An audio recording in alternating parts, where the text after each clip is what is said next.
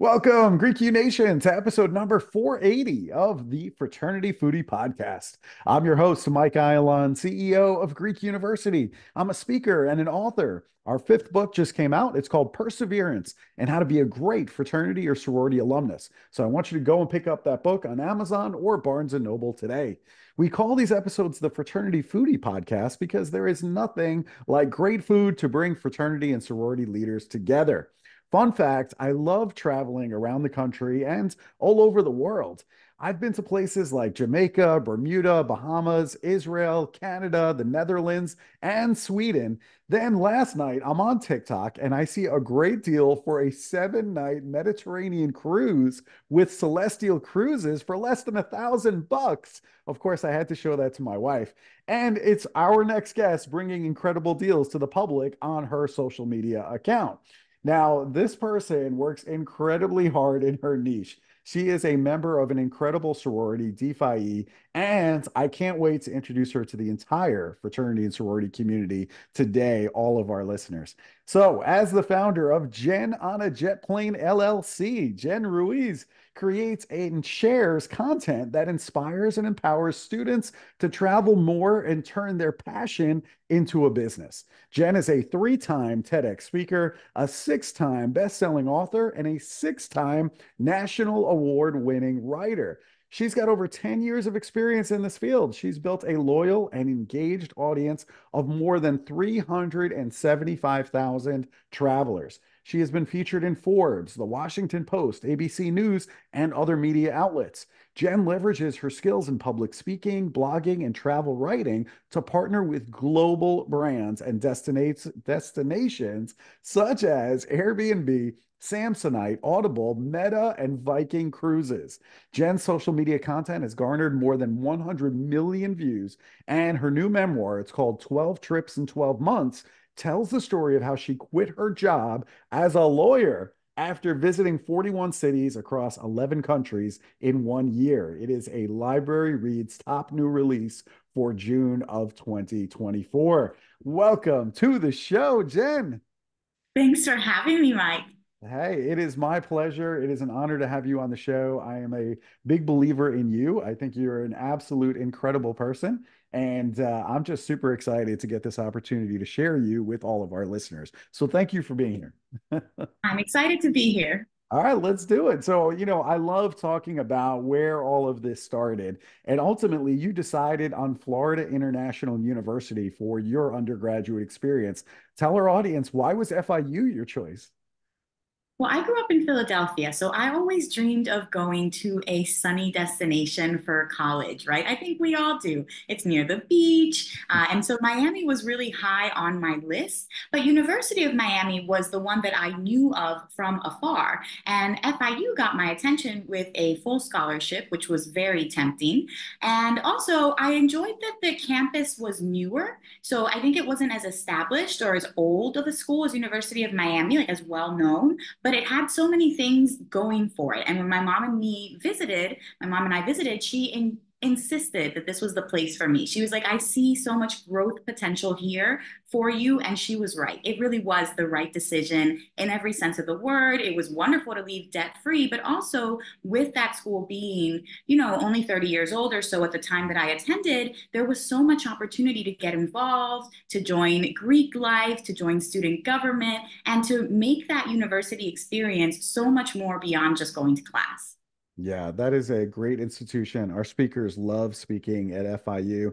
Uh, just a really, really incredible place. And hey, no debt, and you're going to school in Miami. I mean, it doesn't really get much better than that. Let's be honest. No brainer. so you joined Delta Phi Epsilon while you were there. D E, one of my favorite sororities. Some of my favorite friends are all D So what made you want to join them over some of the other groups on campus? I think it was a little bit different for me going through recruitment because I didn't have any background on the sororities. I didn't know anybody in there. And in Miami, you do have a little bit of a you know history in terms of schools and private schools and you know people that know each other for years. And i just came in completely unaware of any of that. So i was like this already seems fun. This already seems nice. Um, d for me caught my attention one because they were all genuine Mm-hmm. They were very diverse mm-hmm. and they had theme nights that really, you know, drew to certain things in me. Like, for instance, they had Dr. Seuss and Oh, the Places You'll Go night, which was so wonderful and really, I think, appealed to that early wanderlust in me. And then also they had uh, DeFi song variation of Buttercup. So they had a dessert theme night, and I love sweets. So I just really enjoyed my time going through the recruitment process, getting to know the people in the sorority. And ultimately, I think that also was the right place for me. It definitely is the right place for you. There's no question about it. I love the diversity that you saw in the organization, and we'll certainly talk more about that and how others can mimic that in their own organization because I think it's important. I think it made them a better organization then and today. Um, and they're just a very progressive organization nationally. So I just have a lot of respect for that. I think it's it's really bold, you know, the way that they operate and uh, that conviction and who they are. For me, is everything.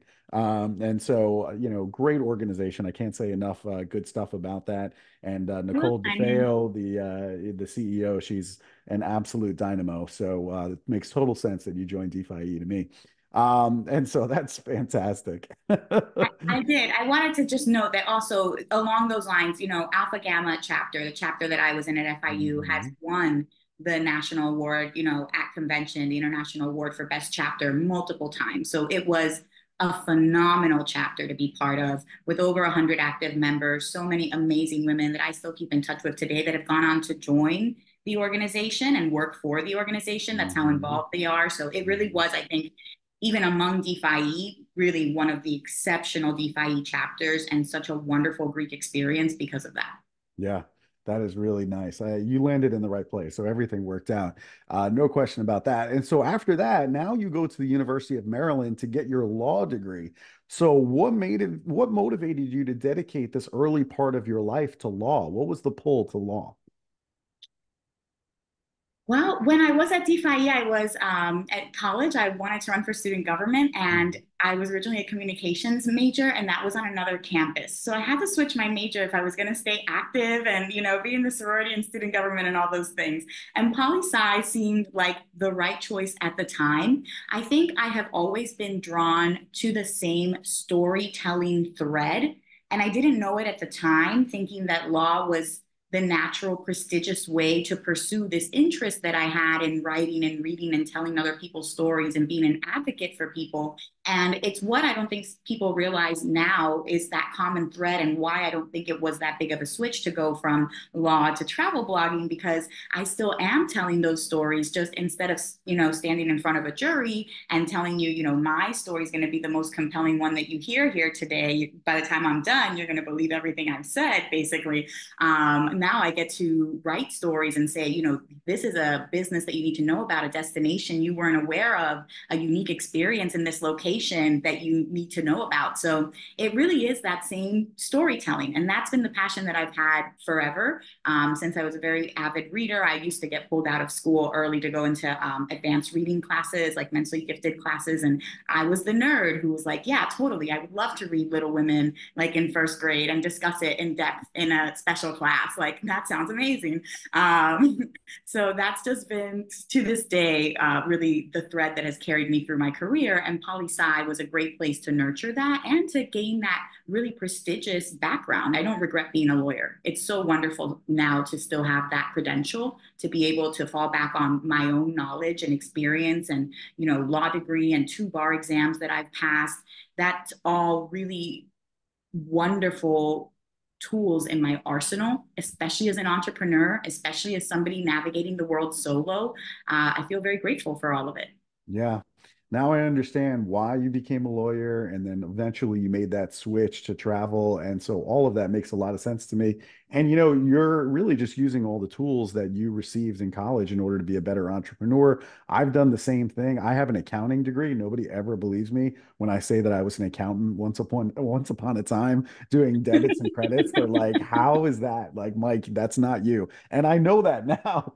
like now I know clearly that wasn't for me. But you know, using all of those skills to be an effective entrepreneur, to understand a balance sheet and income statement and how to make, my business profitable without having to go to an outside accountant uh, to do my personal taxes or the business taxes.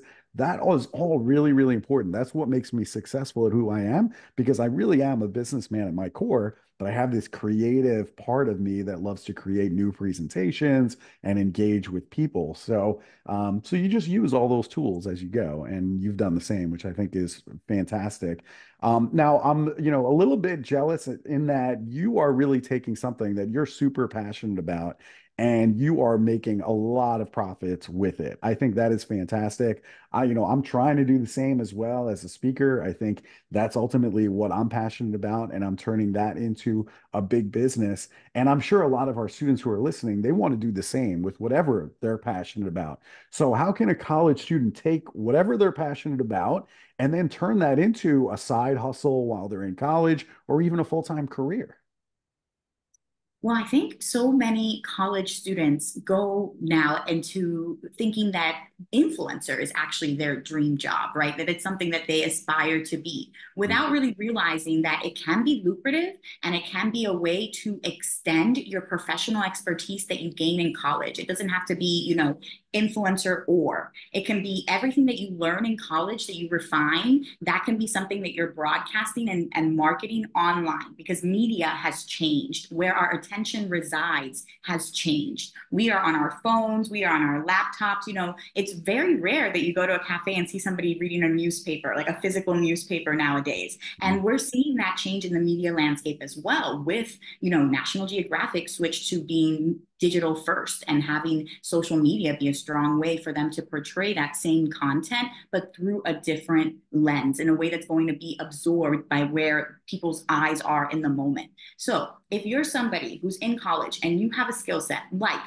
I don't know, comedy. You're taking these amazing acting classes. You're actually really funny. Um, this is a skill set that you can share and that you can market and make yourself now a personal brand and somebody that brands are going to reach out to to be an ambassador for them. Uh, and you can start having partnerships and getting paid to create this content because it's a talent that you have naturally. And this applies across a broad spectrum of things. If you're a scientist, you have a scientific mind, you like seeing everything in charts and numbers and experiments, you can have a channel where you're explaining the things that you're learning or that you're finding. If you are somebody that enjoys knitting or creating or fashion, right, or styling things, you know, it's not just a fun video of you making transitions. It's actually a way of you to showcase what you know in a way that the normal public doesn't. And that allows you to build subject matter expertise a loyal, warm audience, and the ability to have a brand and a reputation that precedes you so that people want to work with you. I love it. Great answer there. Really good stuff. The other thing that I've noticed about you is that you've been able to build rapport and build relationships with other people all over the planet. This is like your superpower. And instinctively, we probably want to be around people that are just like us. I think that's just the way that we're built, that we want people from the same hometown. We want people that look like us, that talk like us, that have the same interests. But if a sorority or a fraternity is listening now and they want to recruit a more diverse population, which is what we have on college campuses today, how do they execute a plan to meet more people and recruit more people who are actually different from them? Right. I think diversity is so important, particularly when it comes to sororities, because people want to be somewhere where they feel welcome. This is a sisterhood. This is something where you're asking people to be vulnerable. You're asking them to spend a lot of time with you, and nobody wants to feel like there isn't space for them there. And ultimately, too, as a sorority, you are at your best stage when everybody wants to join you and you have your pick of the people that you can extend an offer to. So you want to be known as a kind, inclusive sorority that people feel at home in. And the way to do that is not to alienate others, but to build connections, to build bridges wherever you can. And it can be difficult where you don't necessarily see immediate, you know, perceived similarities or likenesses that you can bond over. But I've been able to have a conversation with, you know, uh, a lady in Greece who was 80 years old and didn't speak a lick of English. And somehow in that, you know, between sign language and, you know, just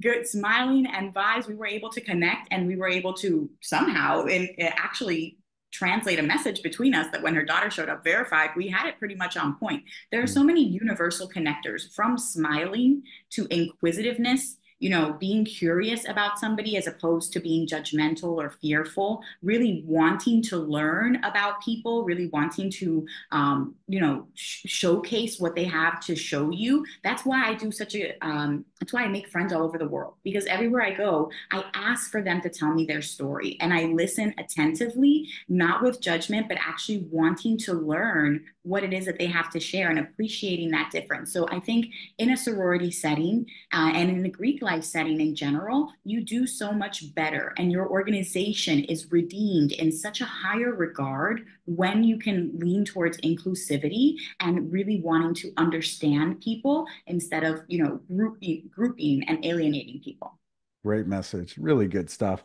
We should talk about your new book too, because you received a book deal for your memoir. It's called 12 Trips in 12 Months about defying societal expectations of what a woman should be by age 30, as told through a year long travel challenge. So, how can the college students who are listening in fraternities or sororities use challenges in order to motivate their chapter and accomplish their mutual goals?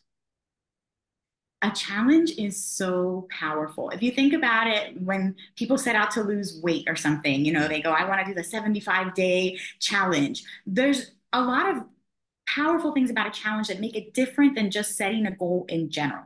Like when people go into a new year, they set resolutions. It doesn't feel like it ever has an end date. So maybe after the first month or so, you start to get disillusioned. You're not seeing the progress that you want, and you just let those goals fall to the wayside. A challenge is different because it's concentrated effort for a set period of time. There's an end time in mind. So it doesn't feel like this forever goal that you have. And if you do it right by the end of that challenge, you will see that immediate result that you are looking for because you will have completed what you set out to do. And that completion in and of itself feels really good. And so for organizations that maybe want to level up in some way, that want to reach a goal that can seem a little bit out of reach, that want to motivate and organize their members to work together towards a common goal, I think a challenge is the secret because it allows you to have that public accountability within each other. Everybody's motivated to work together for this. And it's going to end. So your increased efforts are not going to be limitless, right? You feel like you can put in this increased effort for that little bit of time. That's how I ran the half marathon at Disney because let me tell you, if I had to think that I'm just going to constantly be at the running 10 to 13 miles on average, like I just would have felt so disheartened from the get-go, but knowing that no matter what, you know, on this date, it's going to be over, knowing that I'm going to have this incremental, easily accessible progress, I think that that's the key to making these changes and actually frog leaping yourself from one reality into another. I love it. What a great uh, tool for our college students to use to accomplish goals that they might think is ordinarily impossible. Uh, but you've set it up in such a way that they can actually do it. I think that's fantastic. Uh, you know, the other thing too is Hispanic Heritage Month is right around the corner, September 15th through October 15th. So, how can students educate other students on campus about Hispanic Heritage Month so that we we can all celebrate Latino and Hispanic culture?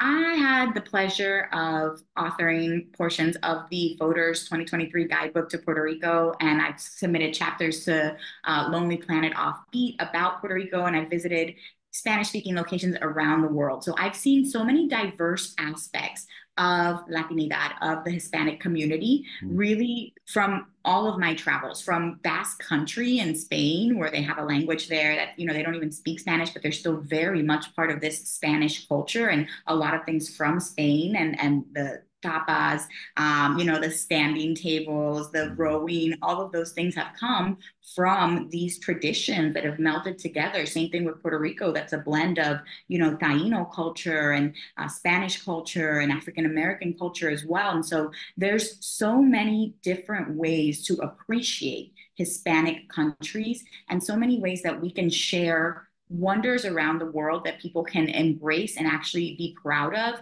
uh, and, and see that there's a shared Hispanic community that should be lauded and should be elevated instead of looked on, you know, like sometimes I think it can be you, you can sometimes use it in a derogatory way of you know immigrants in a derogatory way of these people maybe shouldn't be here. And i think if we celebrate these the diversity between us if we celebrate how much it adds for us to know that these places exist to have these people here to be able to make their their cultures stronger because it makes us stronger as a whole to integrate it. I think we're seeing that now with the Olympics, right? Mm-hmm. We're seeing how much of our team is made up of these diverse people from all of these different places, and they've made us stronger as the U.S. We have the best of everyone, um, and so I think if you look at it that way, not that these uh, people are detracting from the fabric of our society, but they're adding all of this richness to the fabric of our society. And I think that's a celebration that can extend well beyond Hispanic Heritage Month. I love it. I absolutely love it. You really said it very, very well. No question about it that it is adding to our culture on college campuses in the United States and all over the world. And you get to see a little bit of that with the Olympics, uh, which is really cool to see. Now, you have a huge social media following. I mean, you have 375,000 social media followers. Uh, what advice can you give our fraternities and sororities who are trying to build a similar following for their student organization, whether it be on Instagram or on TikTok? I have seen so many people succeed in sharing college content. I think one give your members a chance to create content like give them the the chance to run with it. If somebody has a video idea why mm-hmm. not? See it see what sticks because first you never know what's going to go viral. You can never predict virality. Mm-hmm. And so let people try new ideas. Don't be so rigid. Like see give them a chance. I've seen somebody hop on a trend. So trending you know variations of a particular sound a particular type of transition that you make to reflect your sorority or fraternity and your organization your philanthropy or your mission, that's a great way to hop on something that people already recognize. Um, like there's the sarcastic trend recently, like, uh, I'm in my 40s. Of course, I go to sleep by 9 p.m., like that kind of thing, right? Like, so something like I'm in a fraternity or sorority. Like, of course, we support three philanthropies every year. Like, I'm in a fraternity and sorority. Like, that kind of switching the trend to incorporate what you do in a way that mm-hmm. shines positive light on your organization and highlights your accomplishments. I think that's the best way to do it. And then taking advantage of wherever the attention is at the time because I can't tell you that, you know, it's going to be TikTok now and TikTok forever. These platforms really change. Mm. As of the time I'm speaking, Threads is actually a great place to be for like text-based content. I've had my content get more than 10 million views there um, because I found something that really took off. So I recommend experimenting with new platforms, letting your members submit new ideas, try something new because it could just go viral. When something does go viral, maximize that viral moment by replying to the top comments with other videos so that traction from that initial video automatically translates to the next. See if you can make a series out of that that, you know, was so popular with people. So double down and do more of it. And ultimately keep experimenting because social always keeps changing. And the important thing is that you're highlighting your message, your causes, your members through all of these different platforms.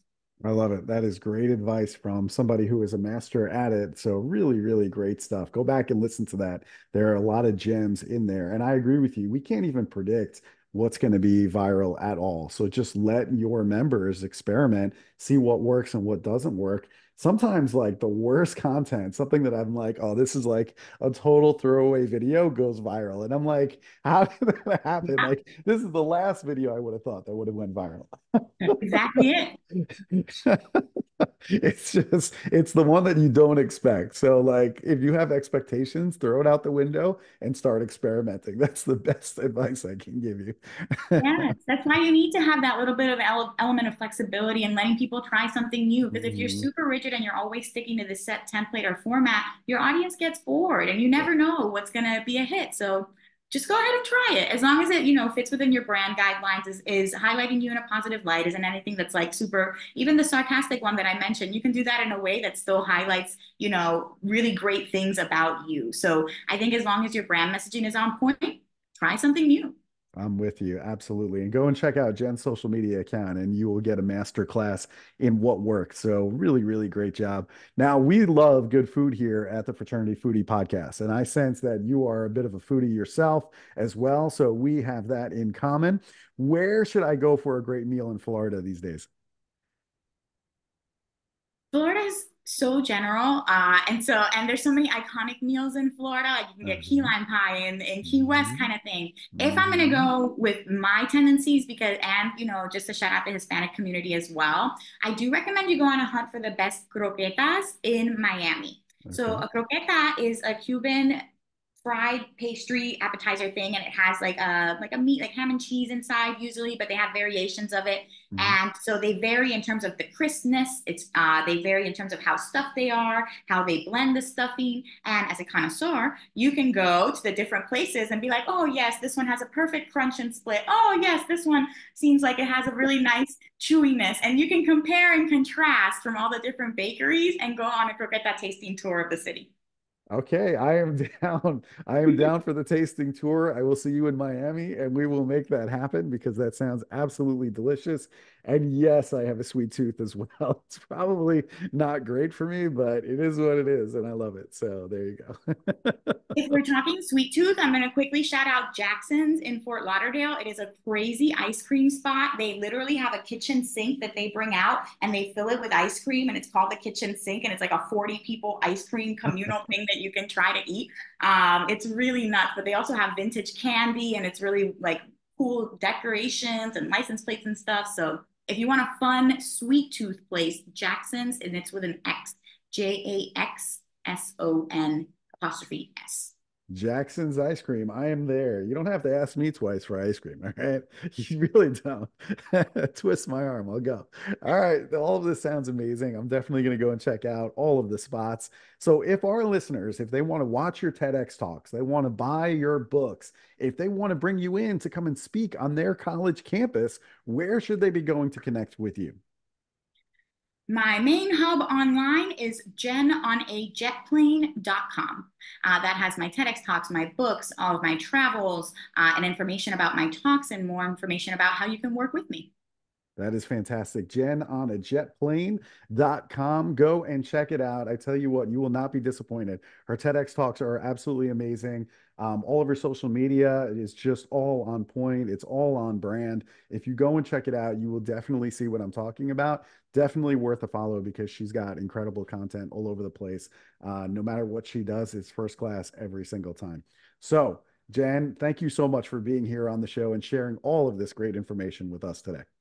Thank you for having me, Mike. It is my pleasure. And to our listeners, if you enjoyed this talk with Jen, I want you to like it on social media and I want you to share it with other college students that are also trying to turn their passions into profits. And we look forward to seeing you on the next episode of the Fraternity Foodie Podcast. Thanks for joining us. We'll see you next time.